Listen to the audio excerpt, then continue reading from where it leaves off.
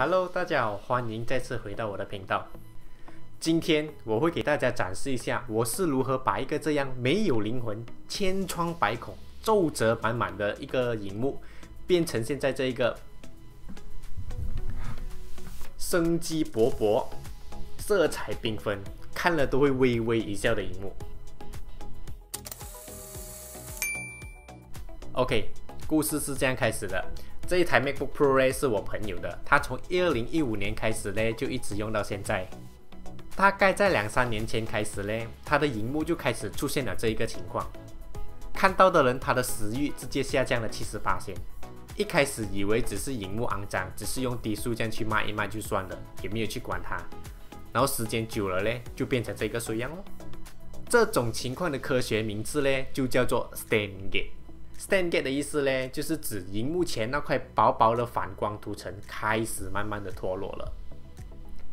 OK，话不多说，我来给大家展示一下我是怎样把这个 Stain Gate 的问题给解决掉。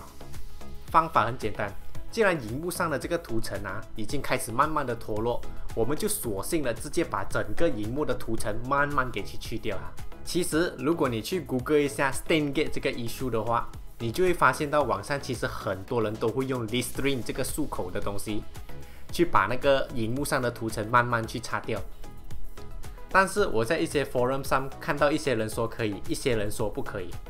而且我现在也没有 Listerine，刚好我家有一个这样的东西，Methylated Spirit Solution。这一罐东西呢，其实你去哪一间 Watson 都可以买得到，它的价钱大概在七八块左右这样子而已。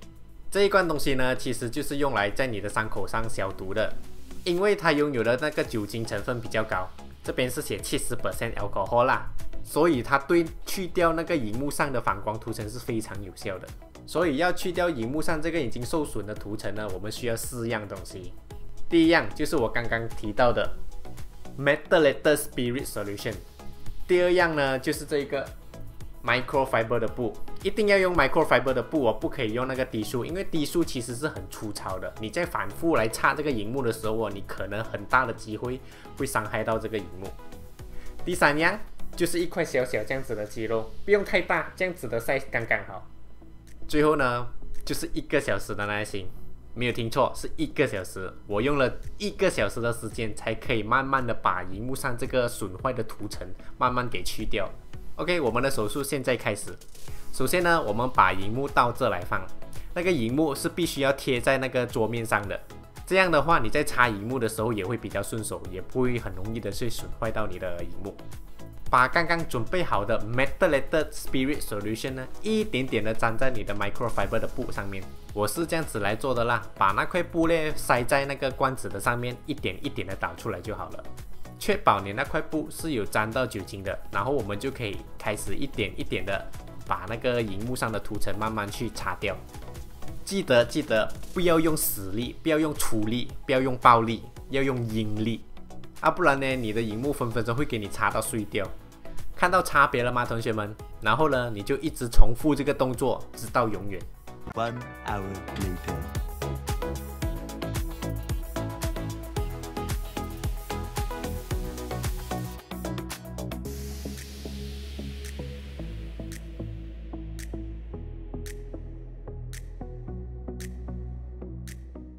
这一架 MacBook Pro 的颜值也从二十分直接跳到一百分去，而且那刚刚不见了的七十八千的十亿也回来了。其实呢，苹果是官方承认这个问题的存在的，也对这个问题提供了解决方案。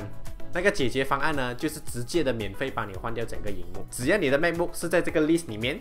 只要你在购买的日期开始的四年内，苹果都会免费的跟你更换掉这个荧幕。那如果很不幸运的，你的 MacBook Pro 没能在有效的期限内去更换这个免费的屏幕的话呢，你不妨可以试试我这个方法，便宜又快，成本不到十块钱的材料就可以把你 Stand Gate 的 problem 直接给解决掉。